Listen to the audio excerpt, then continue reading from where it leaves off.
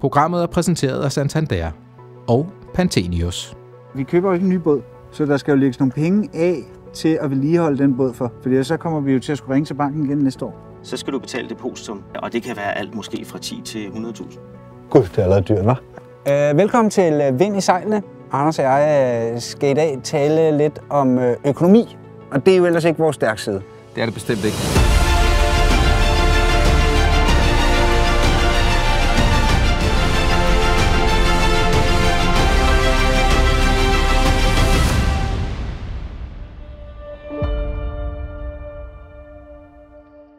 Til at hjælpe Anders og jeg med de hårde øh, regneråd, mm. så har vi allieret os med øh, Niels Lindeved. Velkommen mm. til, Niels. Tak. Han er marketing- og CRM-direktør i Norden i Santander. Korrekt. Og så udover det, er du også selv sejler Yes. og har en gammel båd, og ved ligesom, øh, hvad tingene koster. Især hvad det koster at vedligeholde. Yes. Altså inden man overhovedet når til at finde ud af, hvad man har råd til, er der sådan, sådan nogle ret sådan gode råd fra en økonomimand i forhold til, hvad man skal være opmærksom på, når man skal ud og kigge på en båd? Ja, altså man kan sige, for det første, så skal man jo virkelig ville det. Man skal ønske sig, at det her det bliver en post i ens øh, økonomiske liv også. Mm. Så den værdi, øh, ens økonomi øh, bliver belastet med, den skal også, øh, kan man sige, retfærdiggøres i de oplevelser og den rejse, man gerne vil på. Ja. Så skal man finde ud af behovet. Hvor stor skal båden være? Jo større en båd, jo mere vedligehold, jo større omkostninger vil der være sådan generelt. Mm-hmm. Og øh, så skal man i sidste ende være opmærksom på øh, både selvfølgelig standen af båden. Er det en båd, som jeg skal bruge mange penge på at vedligeholde, eller kræver det en ordentlig renovering, eller er den faktisk lige til at gå til? Så der kan være kæmpe forskel på, på de ting. Er der, inden man når ned til tallene, hvad man har råd til, er der sådan noget der i forhold til sejlbåd og motorbåd, hvor det skiller sig ud af, hvad man skal være opmærksom på? Absolut. Øh, Man kan sige, at en, en sejlbåd i sig selv, der er det jo sejlenes stand. Det er, hvordan øh, båden opfører sig. Det er, om den er tæt i virkeligheden, om den er blevet behandlet ordentligt. Mm. Og så er der jo oftest på de lidt større sejlbåde en indbords motor, man skal være opmærksom på.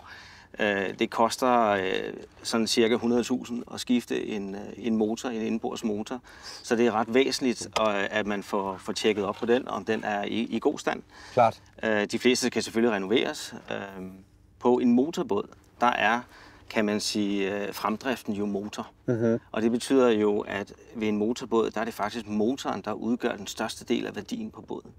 Hmm. Øh, og så der skal man være endnu mere sikker på. Og også en meget større udgift end på sejlbåden, fordi Absolut. der jo skal brændstof på. Der skal brændstof på, og brændstof er jo øh, dyrt. Til gengæld så øh, kan man sige, hvis du skal skifte et forsejl på en mellembådstørrelse båd, kan man sige, jamen så, så er et forsejl, det koster måske 15-25.000. Ja.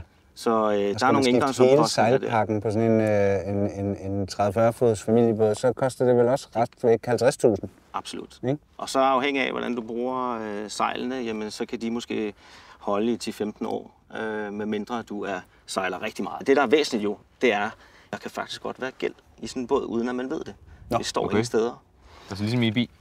Jamen, der kan du ligesom slå bil, det op, men Der kan du slå det op. Ja, ja, men det kan ikke slå op i en båd. Det kan du ikke slå op i en båd, øh, fordi øh, der findes faktisk ikke noget register under 20 øh, bruttoton for, for både, og det er jo sådan cirka i, i den målgruppe, de fleste vil være i. Ja.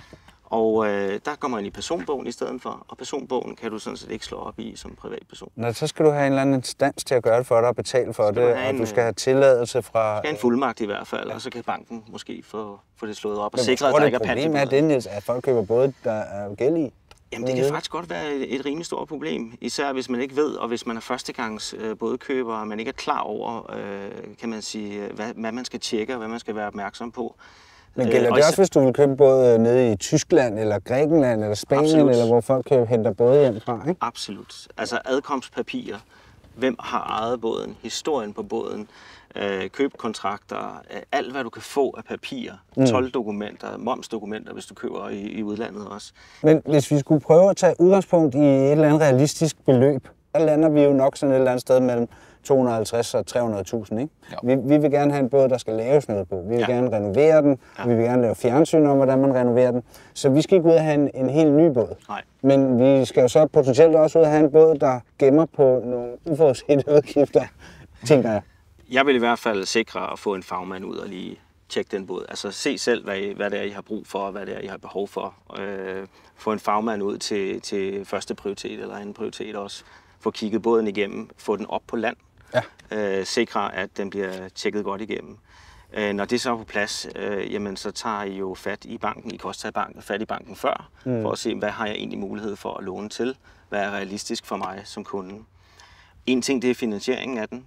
Altså økonomien omkring finansieringen. Og hvis I snakker omkring 300.000, så alene til lånet skal man jo nok regne med, afhængig af, hvordan man finansierer båden, et eller andet sted mellem 2.500 og 3.500 om måneden I afdrag. i total ydelse. Og det vil sige efter skat sådan cirka 2.200 til, til 3.000 kroner. Altså til banken. Så kommer alt det andet ved til, siden til banken. Så afdrager og, du hvor- på, øh, Og på det er over hvor lang tid så? Det her, der har jeg, øh, eksemplet kan være 15 år for eksempel på det her.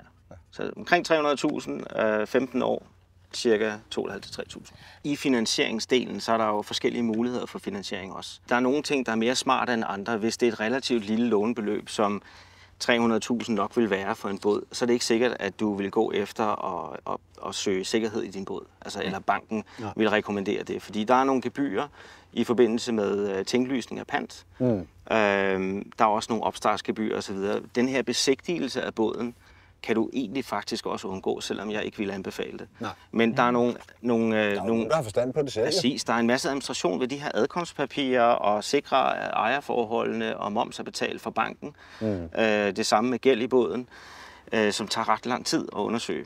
Og det slipper man for, hvis man tager et personligt lån for eksempel. Ja. Og det personlige lån, det kan jo så det er jo faktisk inden for Det de samme rammer. så, ikke? Det kunne være et forbrugslån, eller Ja. ja. som nogen vil kalde privatlån for eksempel. Lad os forholde os til de her, øh, beløber, de her beløb her. Vi har, vi har taget et lån. Mhm. Mm-hmm. Vi øh, regner med et gennemsnitligt øh, afdrag på mellem 2500 og 3000 kroner om måneden på den båd.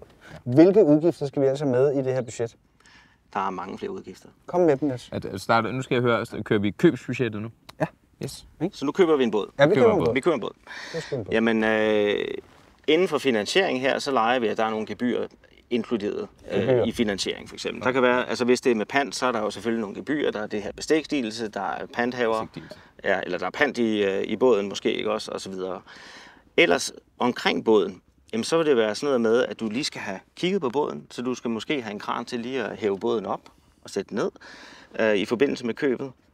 Øh, og ellers, når du har fået båden, så er der jo en masse andre omkostninger, som at kigge på, hvad for en bådplads man skal have. Øh, hvor stor er båden? Altså ofte så betaler man jo en bådplads efter, hvor mange kvadratmeter du faktisk har brug for at udfylde. Ja. Nogle bådpladser er lidt billigere, hvis øh, for eksempel den ikke behøver at, at stikke så meget. Altså hvis båden ikke stikker særlig meget, så kan der være flere båder inde på lav, lavt vand. Mm. Øh, på dybere vand øh, kan det være dyrere. En tommelfingerregel mellem 2 og 300 kroner per kvadratmeter, vil jeg sige. 200-300 kroner per kvadratmeter. Ja. Hvor mange kvadratmeter er 36 fod? Ja, en cirka 45 kvadratmeter skal du bruge, fordi du skal have lidt luft omkring. Okay. Og hvad bliver det så? Jamen så bliver det vel, det bliver øh, i 13.500 Om året? Ja. I bådplads? i både leje, Land og vand. både pladsleje. Land og vand? Det er land og vand. Ja. Så cirka 14.000, Cirka 14.000, ja. siger vi. ja. Og det er meget afhængig af, hvor det er, vil jeg så Ja, og det er årligt. Ja, det er årligt, ja. Så har du jo så med bådpladsen. Du kan jo enten få en gæsteplads, hvis du ikke har været skrevet op, og der ikke er plads i havnen. Mm-hmm. Hvis de har plads til en gæsteplads, så siger de, du står på venteliste, men vi kan godt tilbyde dig en gæsteplads. Mm-hmm. Når du kommer hen til, at du får en fast plads, så skal du betale depositum oftest. Og det depositum kan jo også variere utrolig meget. Øh, og det kan være alt måske fra 10 til 100.000 I depositum? i depositum. Altså ligesom øh, lejlighed, når man flytter i lejlighed, så Ligesom giver du tre du- måneder for udagtigt. Det er Absolut. Det Det er nogle penge, du noget, får igen, Ja, ja. når det er, at du ikke har skal- pladsen mere. Du skal lige kunne slippe dem. Ja, Men det lyder som sådan noget københavneri. Er det sådan noget, der er inde i de københavnske havne? Nej, Det er hele landet? Det er faktisk Er det? mange steder. Der kan være steder, hvor at der er masser af plads, og hvor man ikke trænger til depositum. Men hvis du tager havne op langs øh, østkysten, op i Viskebæltet, mm-hmm. jamen så vil, man, øh, så vil du skulle lægge et depositum. Okay, og hvad er det? I dag, der vil jeg til sådan en båd her, mellem 50 og 100.000. Nej. Jo. Også i, øh, i, i Nordjylland? Jamen, vi kan ikke, det er jo ikke realistisk. Det tror jeg ikke. Nej, nej, okay. Det tror jeg ikke. Jamen, det, er men, det, er jo- men det er jo meget forskelligt. Ja. Men det er da værd at tage med. Det er da værd at tage med. Men det må jo være nemt at låne til, fordi dem ved I jo, I får igen. Det er ligesom en opsparing. Det er nogle men, men, men, men, du får, ja, man kan sige, du får jo ikke, du får ikke renter af de penge. Nej, nej, men så kan I få en lille smule. I ved jo ligesom, de står Ja, ja, der, ja. og dem får I tilbage den dag, Man man kan måske også sige, at det, det er måske et godt sted at kigge på, skulle jeg have en udbetaling til det. så er det den, man skal Ja, have så er det nok den, man skal have. Jeg tror, øh, det er sværere for banken til at finansiere et depositum på en havneplads. Lånet, gebyrer, besigtigelse, bådplads, depositum. Besigtigelse, hvad skal man regne med det? Par tusind? Det er cirka, cirka 3-4.000, vil jeg sige. Vi siger 3500. Ja. Gud, det er allerede dyrt, hva'? Ja. Vi kommer da ikke til at kunne nøjes med øh, 300.000.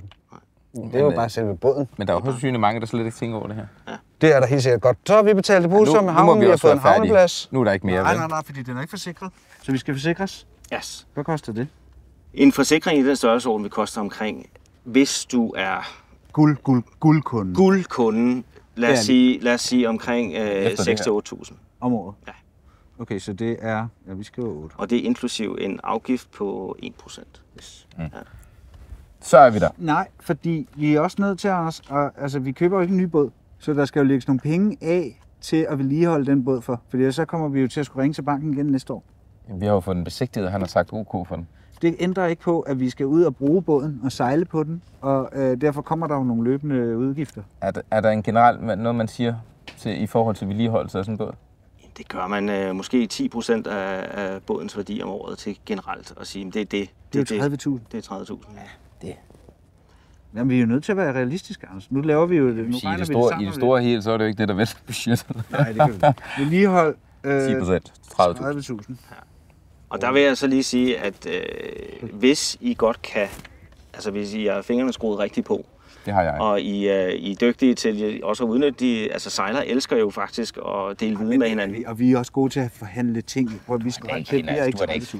Jo, Det er faktisk rigtigt. Det er ret væsentligt, det du siger. Vi har Felix med. Vi må helst skrive 40.000. Ja. jeg, siger, jeg tænker, vi ikke lave noget. Jeg tænker mere 15. Har du brugt en boremaskine i dit liv? Mange gange. Jeg, jeg tror, du skal sætte, sætte 20.000 af.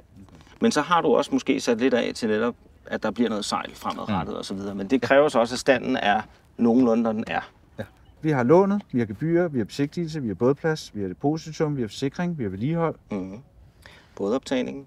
Men det er den ikke med i, i, i bådplads? Det er, du finansierer sådan set både land og vand. Men kranen, den koster også.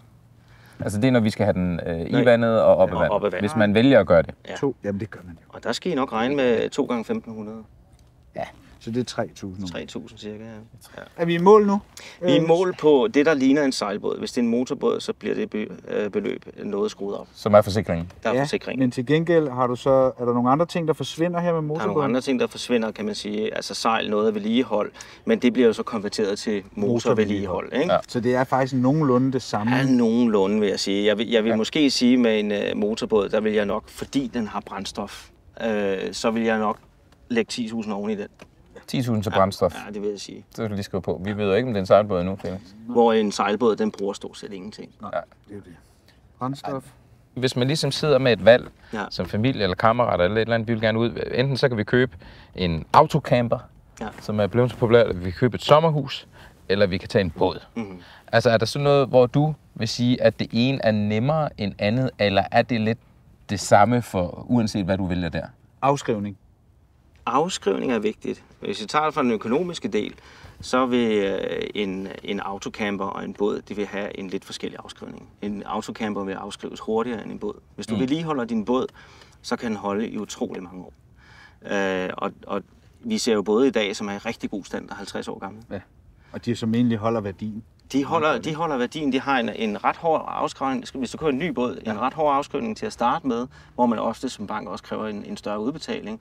Og når du går ned og så siger, nu har du brugt båd i rigtig god stand, den er besigtet osv., jamen så er din afskrivning, den, den falder faktisk ud, fordi så er det standen, der afgør, om, du kan, mm. om den repræsenterer en værdi. Kunne du med din øh, lynhamrende hurtige regnehjerne lave et øh, bud på, hvad det, her, ja, hvad det her koster mig og Anders om måneden?